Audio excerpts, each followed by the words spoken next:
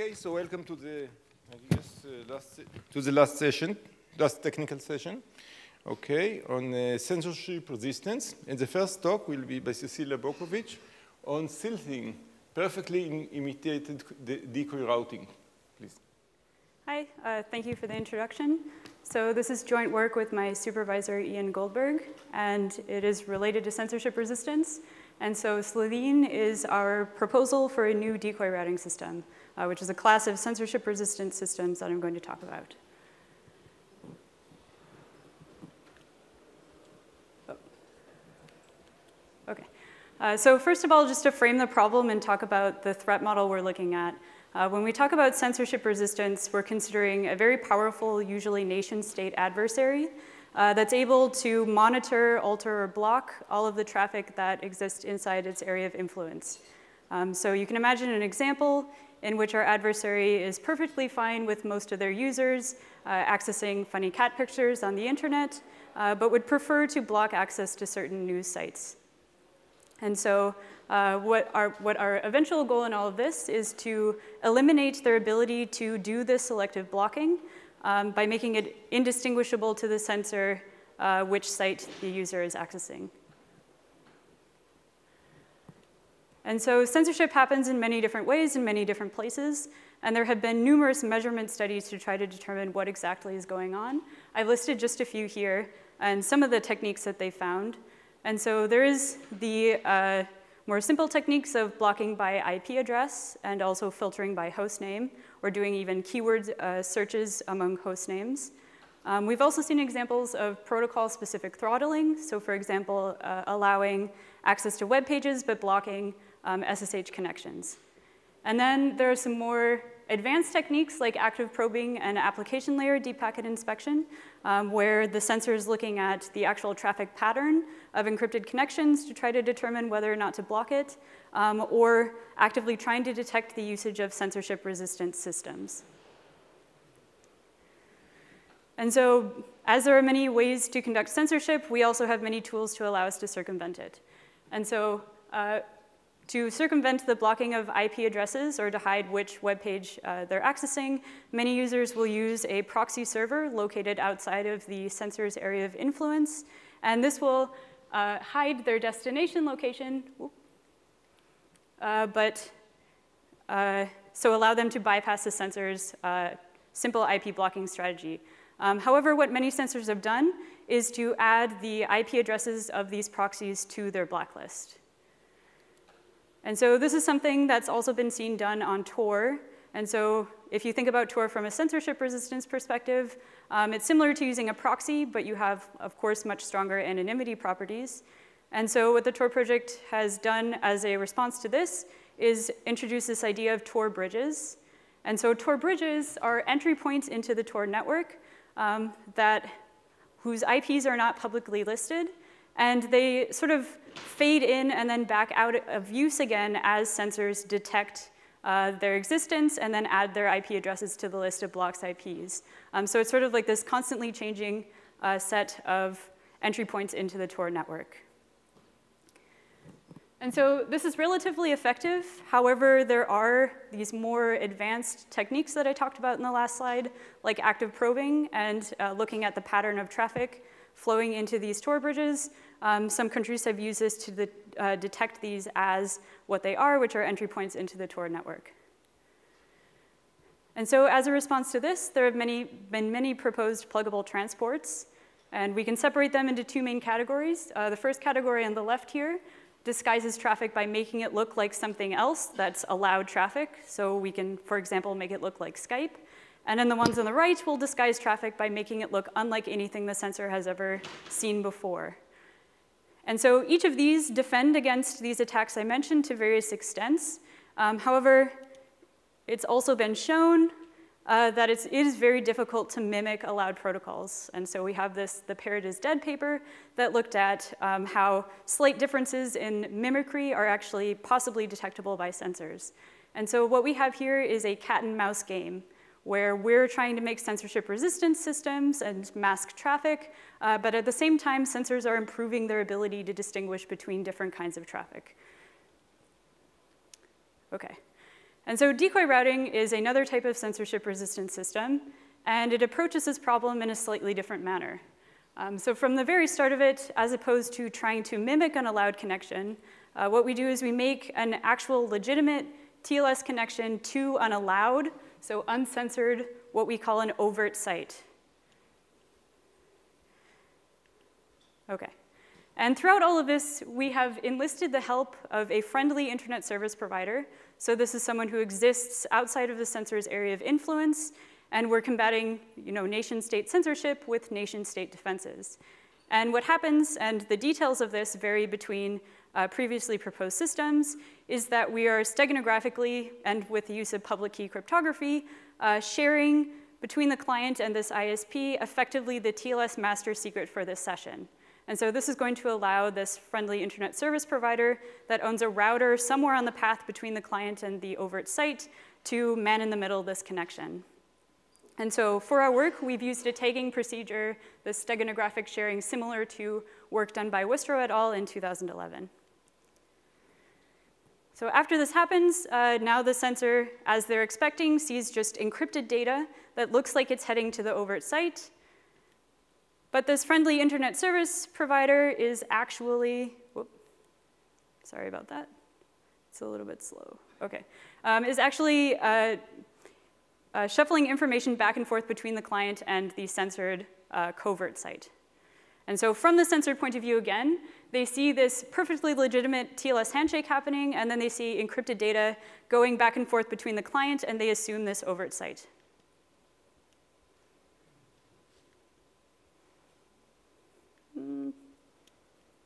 Okay.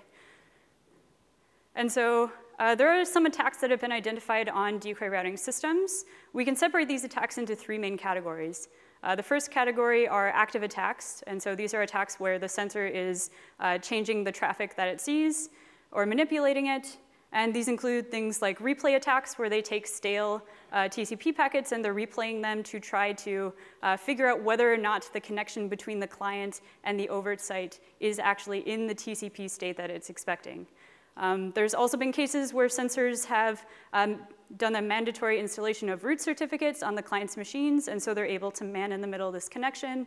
And once you can read the plain text, the game is basically over. Uh, there's also another class of attacks called uh, routing-based or RAD attacks. And uh, essentially what happens here is the censor who is able to make routing decisions about traffic entering or leaving the country can bypass um, routers that they know are owned by ISPs that have these decoy routing systems uh, deployed on them.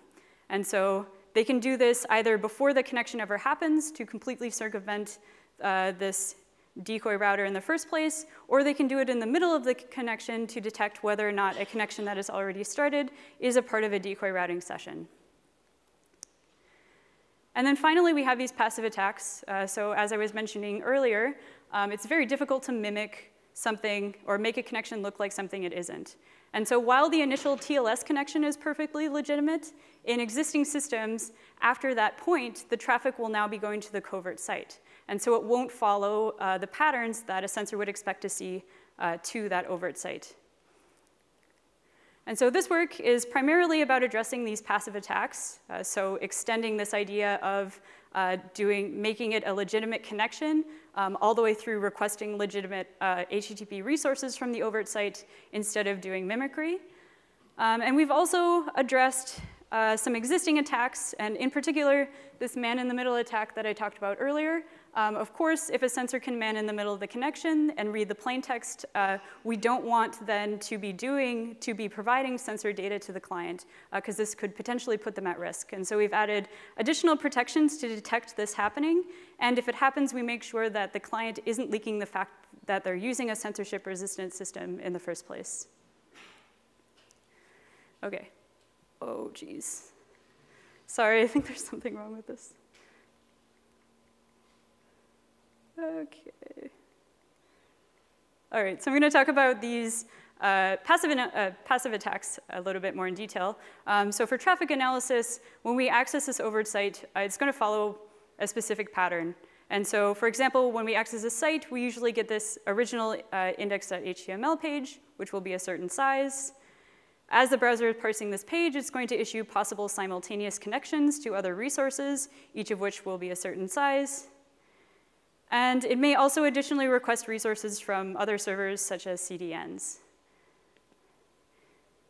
So if we are using FunnyCats as uh, the overt site for our decoy routing session, um, what the censor is going to see is going to deviate from these patterns. And so the resource sizes will be different.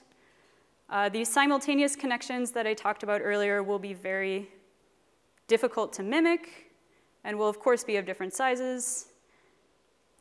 Uh, and then finally, uh, it's going to be difficult for the client who is running the system to predict which overt sites it needs to request or, or, to connect to in order to mimic what normally happens with fetching images from CDNs.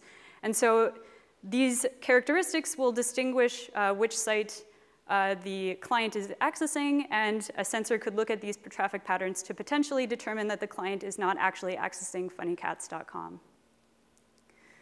Uh, next, these latency analysis attacks. Um, so Schuchard et al. noticed uh, that the amount of time it took to load an overt page differed significantly when this overt page was a part of a decoy routing session as opposed to a regular access of this page. Um, and there's a good argument for why this could be the case. So remember the friendly ISP exists or owns a router on the path between the client and the overt site, which is chosen somewhat optimally. Um, however, all information from the client to the covert site, so the uh, encrypted data that the censor is actually seeing, will be going through this friendly ISP on that path, but the uh, path between the client now and the covert site is possibly not optimal. Um, so they picked a couple different, well, they did uh, experiments on telex, and they used the overt site. Uh, so they saw that there was a significant difference in the latency between using a site uh, as an overt site and using it for decoy routing traffic. Okay. So our system is a, has a solution to each of these problems. And so what we do, as I mentioned before, is we extend this idea of having a uh, legitimate connection instead of just mimicry through to requesting actual resources from the overt site. And so what we're doing is we're taking censored content and we're putting them uh, in place of the resources that are being sent back from the overt site. And so we're replacing in particular uh, leaf resources like images and videos, things that won't prompt the client's browser to normally request other resources in turn. And so we've named our system Slitheen, and so this is a Doctor Who reference. Uh, this is a family of aliens that are able to disguise themselves as humans by fitting inside the bodies of their victims. And so the results of these aliens, uh, I guess, yeah. Uh, so what they are able to do is appear indistinguishable visually uh, to the humans that they have attacked. So we're doing a similar thing, but uh, with data instead of real people. Okay, um, so here's an overview of how this works. So we do have the regular, uh, the tagged TLS handshake that's going to leak this TLS master secret to our friendly relay station. Um, and then we have a part of the client software called the overt user simulator, and this is responsible for establishing overt connections uh, to, in order to facilitate the transference of covert information. And so after this uh, TLS handshake, our system differs from existing systems. We request legitimate resources uh, from the overt site. And in the headers of these upstream requests for resources, we include the upstream data the client is sending uh, to the covert site. And so the relay station will extract this, uh, essentially act as a proxy to the covert site, and store the downstream data from the covert site. So now when the resources come back from the overt site, uh, it's going to look and determine the content type. If it's something like HTML or JavaScript or CSS, we're not going to mess with it. We're going to allow it to continue to the client. But if it is something like an image or a video, we're going to replace it with the saved covert data. And so here's a closer look at what's happening. Uh, we have this overt user simulator that's going to request a, a, real resource from the overt site. And we have a, an identifier for the client, an identifier for the stream that it's using, and some SOCKS Connect, uh, SOCKS Connect request and the upstream, initial upstream data from the client. Using this data, the relay station then establishes a connection to the covert site and saves the downstream data in a queue.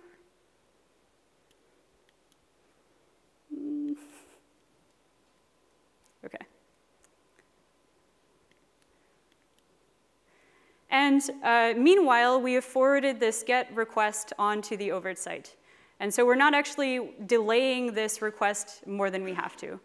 Uh, the overt site will respond with a resource, and whenever this happens, the relay station will determine whether or not it's a leaf resource, and then replace it with the saved downstream data, forwarding it to the client. And so I want to reiterate that uh, each of these resources are, of course, encrypted with this TLS master secret. And while the relay station can decrypt it and look at the contents and possibly change them, from the censor's point of view, uh, this is just a normal encrypted connection to the overt site. Uh, so the censor is unable to decrypt the data, but what they are seeing are a, a traffic pattern, so packet sizes, packet timing, sizes of resources that it would normally expect from the overt site. Okay, I want to talk about this replacement process a little bit more because uh, it's not quite as simple as simply saying determine if it's a leaf resource and replace the data. Uh, so encrypted information is sent from the overt site to the client in TLS records. And so these TLS records include a 5-byte record header that includes, among other things, the length. And then since we're using AES GCM, it's going to include a 16-byte nonce followed by the encrypted data and a 16-byte MAC. And so we can only safely decrypt this TLS record once we have received it in its entirety. Um, however, TLS records are often fragmented across packets, so there's not a one-to-one -one mapping, and there's not even a, a clean one-to-n mapping. And what we do not want to do in our system, since we don't want to add extra latency, is we don't want to wait for the packets to accumulate before we can decrypt and possibly manipulate these TLS records. And so what we need to do, uh, first of all, is figure out whether or not this downstream data we're seeing corresponds to a leaf resource. And so, of course, we can only look at the content type if we decrypt the record, and we can only decrypt the record after we've received all of it. Um, however, to determine the content type, we only need to decrypt the HTTP response header. Um, and it turns out that in a lot of web server implementations, this header is in fact included in a small TLS record that often fits inside the contents of a single packet. Um, in order to replace a resource, we don't necessarily need to decrypt it as long as we know its length, which is included in the response header, and its content type. However, there are further complications when we're receiving misordered packets. And so what the relay station needs to do is it needs to maintain the HTTP state of the flow. And so I've included a simplified state machine here. Uh, there's a more complicated one in the paper. Uh, but essentially what the relay station is going to do is it's going to see these incoming packets and look at the state machine to determine at what point it's in. Uh, if it's in one of these red or shaded states, it's going to need to decrypt that packet in order to determine the content type. Um, if it's in one of the green states, it can safely replace uh, the contents of the packet even without decrypting the record. Um, there are ways to recover from an unknown state if we end up uh, unable to decrypt the contents of a record or receive uh, partial or uh, or receive misordered packets. Um, however, even if we're able to recover, we may not be able to use that specific resource as a covert channel. We may have to wait for the next resource to come through. Okay, uh, so those are the details of our system. We do have an implementation. Uh, so we implemented this to test the fact, uh, test whether or not we were actually adding any latency. And our experiment showed that statistically we, we weren't. Um, so here are two experiments using Gmail as an overt site and Wikipedia. And so we ran an experiment using it as an overt site and replacing all of its leaf content. And then we ran an experiment where we just did a regular access. And so what we found is that we're not adding enough latency for a censor to detect whether or not, this uh, whether or not the user was using a decoy routing session. Another question we have to ask ourselves is how much covert uh, bandwidth do we actually have? So we're only replacing leaf resources because if we replace something like JavaScript or HTML, and that included additional requests for resources, uh, we would then be deviating from the normal traffic patterns to the overt site. And so uh, we measured the bandwidth of the Alexa top 10,000 TLS sites, and we found that uh, roughly a quarter of all sites offer one megabyte or more of potentially replaceable content. So one megabyte or more of uh, these sites, or one quarter of these sites offered one megabyte or more of leaf content. Um, however, as I mentioned before, uh, we can only actually use this leaf content if we can decrypt the HTTP response header. And so we ran a couple more tests um, and we were finding that for some sites, uh, the first site we found was Facebook, we weren't getting any uh, covert data down. And so uh, the reason behind this is that Facebook I don't know, maybe they have a custom web server implementation, uh, was including their HTTP response header um, in a very large TLS record along with the first uh, bytes of the response body itself. And so for some sites, the system works really well, and we're able to replace most of the content, like for Wikipedia or Yahoo, but for some sites it doesn't. And so the choice of the overt site needs to be done carefully.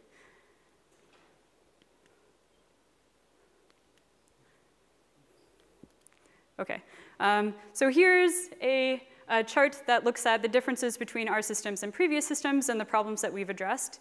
Um, so we have uh, defended against previously undefended um, passive attacks, such as uh, fingerprinting uh, and these latency analysis attacks. Um, we've also strengthened some of the attacks uh, seen on existing systems, such as these uh, active replay attacks, and as I mentioned before, the man-in-the-middle attack. Um, however, one thing that existing systems have addressed, uh, such as TapDance and rebound, that we have not in our system, are things like uh, handling asymmetry. So when we make a connection to an overt site, uh, frequently we do not pass through the same routers on the way there as the way back. And then looking at uh, inline blocking problems. So the task of the uh, relay station or this friendly ISP in processing this information and then possibly modifying traffic uh, requires a lot of hardware. And so some recent systems have addressed these challenges to deployability. Um, however, the recent systems in doing this have increased their uh, susceptibility to passive and active attacks. And so we're exploring, as future work, uh, some different routes towards solving these problems, and in particular, looking at some recent advances that have been made to uh, deep packet inspection or traffic shaping technologies, and so the hardware and software that uh, internet service providers are now looking at deploying. Okay, uh, and the one good thing about our system and the things that uh, we brought to the table are, again, uh, this movement away from mimicry and this cat and mouse game. And we're hoping that this is a potential solution or an ending to the cat and mouse game in favor of the censorship resistor. And so we're hoping to make traffic, censored traffic, as indistinguishable as possible from allowed overt traffic. Okay. Uh, so to summarize, Slitheen is a new proposal for a decoy routing system. And we've looked at these previously undefended passive attacks. Uh, we do have an implementation, and we used it to test whether or not this latency we're adding was significant. Uh, and so you can access our implementation and source code online. Uh, this is something that, so we have a proof of concept, and it's something that we're continuously working on improving with the eventual goal of actually deploying the system. Um, and so Additionally, by design, in addition to this, these latency attacks, uh, Slitheen inherently defends against website fingerprinting attacks or any sort of traffic analysis attacks that are looking at packet sizes, packet timings, or directionality. And this is because the packet sizes and timings that you see coming back from the actual overt site, we aren't changing at all. Um, we're only changing the encrypted contents. And so the traffic is going to look identical to what a censor would normally expect. Okay, and with that, I'll take questions. Thank you.